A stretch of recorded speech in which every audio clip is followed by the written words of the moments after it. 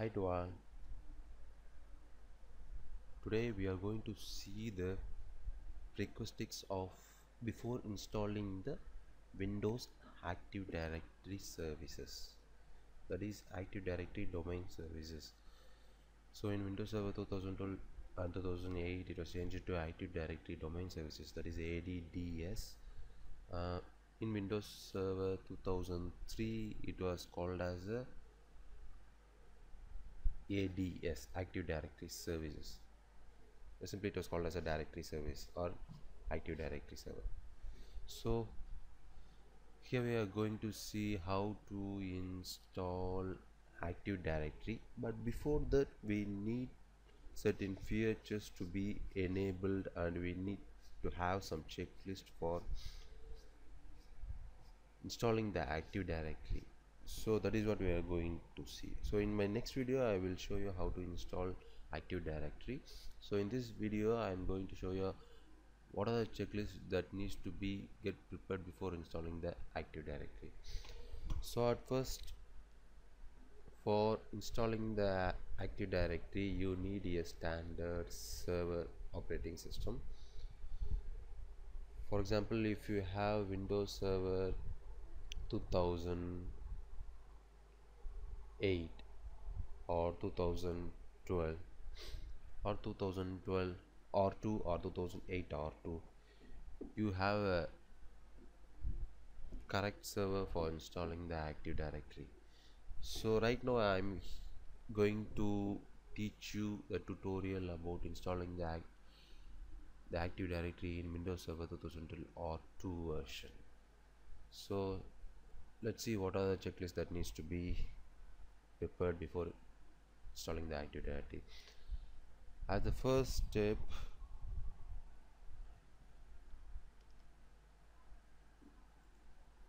you need to check the configuration of your system.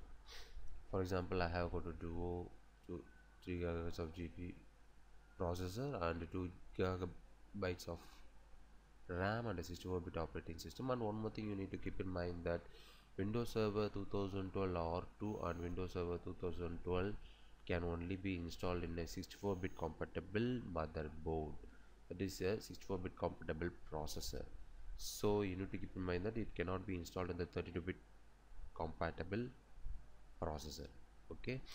And as a first step what we are going to do here is we need to change the computer name to our desired or planned computer name. So I'm just going to change the computer I'm just going to the change settings option and here go to the change option and here you need to type the computer name. So what I am going to give here is server. This is what I am going to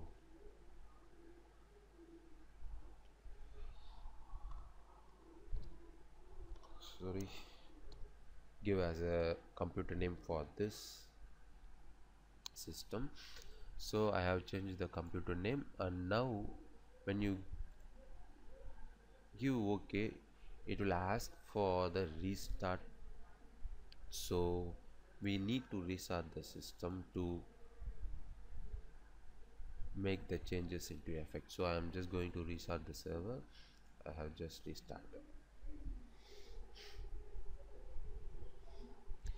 so without restart you can't do anything. You if whenever you are going to change the computer name you need to restart your system. Then only you can see the correct computer name was given in that system. Even if you left as it is without restarting it will ask for a restart if you have made any important configuration in your system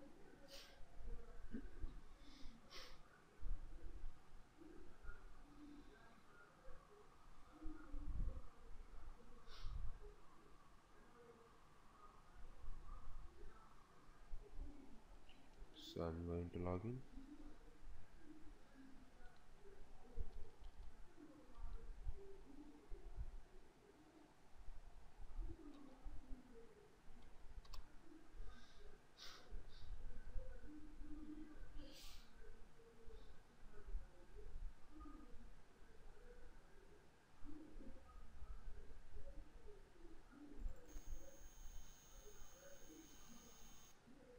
so I'm going to open the system properties here.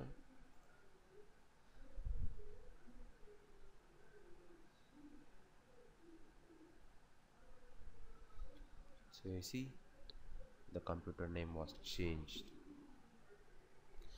So then this server operating system that is a server 2012 R2 is still in a work group and it was not added to any domain.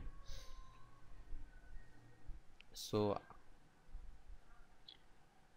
this is the first step you need to do correctly and the second step is you need to check your network settings to be properly configured. For example I have a network here. So I have given it as a IP 192.168.1.3 with a default gateway and the subnet mask just going to the properties IPv4 settings and here you can see. I have just given IP address and this IP address need to be static IP address. So for example if you just give this option that is uh, obtain an IP address automatically then you need to have a DHCP server for this to run. So you need to keep that in mind. But before installing an active directory you need to have a valid IP address for installing an active directory domain services in server 2012 or 2 version. So I have a valid IP address. That is a private IP address. That is the 192.168.1.3 255.255 and that is a subnet mask. And then this is the default gateway which I am using.